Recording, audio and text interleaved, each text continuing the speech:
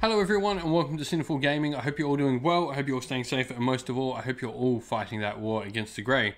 Today, we're going to be talking about some Warhammer Fantasy novels that I've read, I really enjoyed, and I remember back fondly. I recommend going and giving any of these novels a read, um, and just so you might get some experience of what the old world was like. I mean, there were some great stories that came out of that, and yes, it did end but these stories still, I think, are timeless. There's some really fantastic novels and some fantastic pieces you can go back, read, and enjoy. And these are just seven stories that I recommend going back and having a read of. So let's get cracking into the list. Number one, I'm going to suggest Broken Honor by Robert Earl This for me is a just great, fantastic Warhammer Fantasy Empire novel. So, Broken Honor is a part of, like, I guess, a sort of set of novels that were released telling stories of different parts of the Empire and their military. You've got a different few of them, from Swords of Justice, Grimblades, and Warrior Priest, all focusing on different parts, but Broken Honor focuses on the free companies. So, the general story is that the armies of Hochland are at breaking point, beset on all sides by feral beastmen. The safety and prosperity of the province itself is shattered. There are desperate times, and a mercenary captain called Erickson looks to capitalize on the conflict, buying the freedom of a group of prisoners who he then forms into a free company. This freedom, though, comes at a price for those prisoners as they're forced into battles time and time again throughout the story. And it's just a great little story talking about this captain trying to make these, I guess, prisoners and these, uh, well, no good people be something better and more. And the story just follows this free company that just gets thrown into battle after battle, horrible scene after horrible scene. It's great. I really do thoroughly enjoy this book. I reckon it's one of my favorite Warhammer Fantasy books, um, and I do reckon anyone goes and gives this a check out. Number two, The Defenders of Ulthuan, and I guess its subsequent sequel, The Sons of Ellyrion, by Graham McNeill. This is a fantastic high focused novel that focuses around the story of these two brothers who are quite at odds. Um, a bunch has happened to them in times past and over the course of their lives, and this book really just sort of tells a tale of these two brothers trying to sort of forgive each other while also save their home realm of Ulthuan. This book is great. It covers a bunch of fantastic sort of main characters as well. It has, I guess, bits and pieces of people like King Finubar, Prince Imrik, Tyrion, Teclis, even Morathi comes up in the story now and again. There's some really cool characters within it, but the main characters are the driving force behind the story. I really like how you've got these sort of no-named characters um, sort of pushing the story forward while sort of being part of the grander story of these more major plot players within Warhammer Fantasy. It's a great series and probably my favorite lot of high elf novels from Warhammer Fantasy times. Graham McNeill does a really great job at just making these characters feel real and just sort of show you all these different parts. And it explores Ulthuan in different ways as well. There's some really great parts of it that just Ulthuan is shown in a different light and all these things that happen over the Elven realm. It's a really, really great novel, and I recommend going and picking up the two and giving them a read to anyone. Number three, this should come as no surprise for anyone who knows what I like in Warhammer Fantasy. It was the Wood Elves, but Orion, the Vault of Winter, and all its stories that come after by Darius Hinks. I think this story really just gives a bit of light on the story of Orion and who he is as a character. I really like some of the starting scenes on how you sort of learn how Orion's made in this particular story. But in general, this story focuses on someone has betrayed Orion and he doesn't quite feel himself throughout the stories.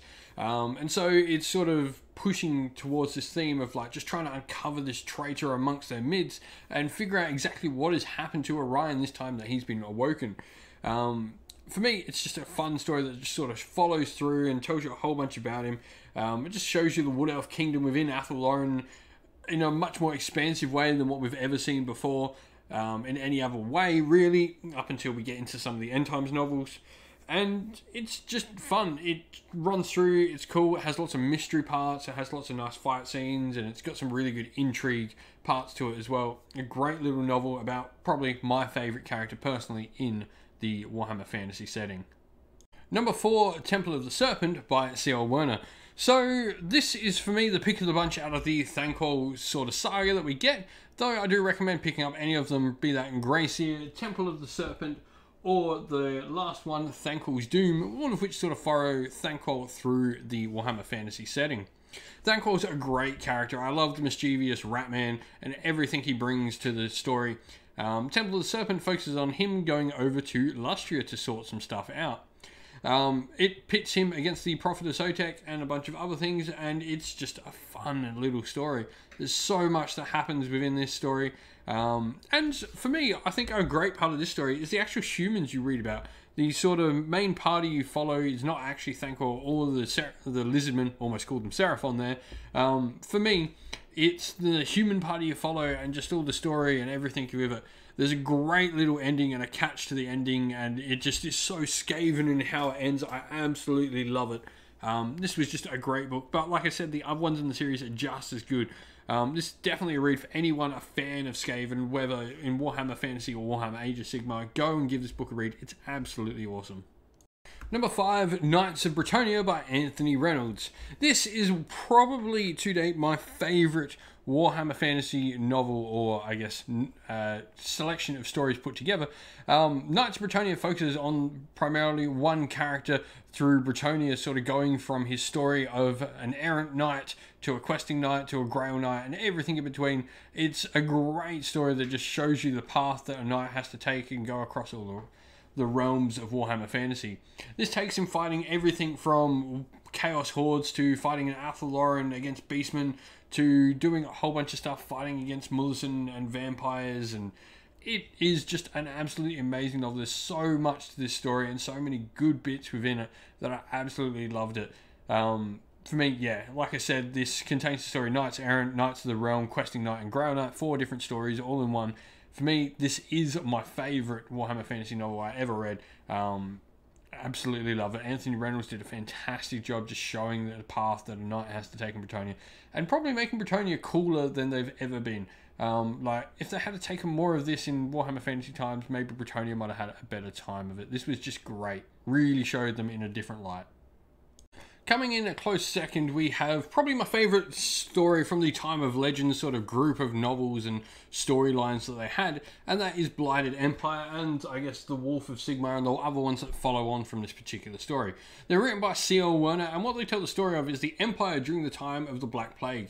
This is a time where the Black Plague wipes out, I guess, the vast majority of the Empire's population, and Skaven and Undead almost overrun them. It's a great sort of three part story where you get to learn all these different parts about Skaven Skaven, the Undead, and the Empire all in one. I really almost liken this story to Age of Sigmar's version of Game of Thrones. It has so many twists and turns. It's got very corrupt leaders. It's got great little characters everywhere throughout the books, all playing in the same little stories. What this does really well is it tells you all these different little tiny stories and blends them all together really well into a fantastic set of novels that really just give you a great look at the Empire during one of the worst times in its history for me, this is probably, yeah, like I said, probably the best time of Legends saga there is. And yeah, I'm even putting that against Nagash. I reckon this is better. This is a great little story. It shows you so much of what Warhammer Fantasy is like. Um, in all these different parts, get to look at Skaven, get to look at Undead, gets a look at the Empire, and just does a great job showing them all and tying all their stories in together and making a great series of books. And number seven, Malus Darkblade by Dan Abnett and Mike Lee. There's a couple of chronicles for this, and there's a bunch of stories to tell, but effectively they all put together the story of Malus Darkblade, who is the coolest Dark Elf to have ever existed. Yep, I'm putting him above even my own personal favourite, Lokhir Fellheart, and characters like Malekith Malerion or Morathi. For me, this is one of the greatest stories that we have for Warhammer Fantasy. It's right up there, I think, with my personal favorites. But I reckon this story just what it does well is tell sorry a hero's tale about someone who isn't a hero. Like Malus Darkblade is not a nice person in any way, but it makes you fall in love with this character and just does such a great job at making you feel for a Dark Elf who is all intents not a great person. Malus Darkblade himself as a character is and I guess the premise of his whole story is he made a bargain with a demon and to control it, and now the demon's trying to take over his body and has to collect these artifacts so that he doesn't get completely controlled by this demon. Um, and the story sort of goes over him collecting these artifacts. It's a great little set of stories that you can just grow on, and there's just so much depth to them. It takes you all over the realms, and does a whole bunch of different stuff. Um, really a great set of stories that you can read. Dan Abnett and Michael Lee did a fantastic job of fleshing out this really cool character. So there's a list of some of my personal favourites, seven stories from Warhammer Fantasy that I fondly remember and I absolutely enjoyed. I'd love to know some of your favourites. Are there some that maybe I've missed that maybe I might not have read that I can go back and have a read?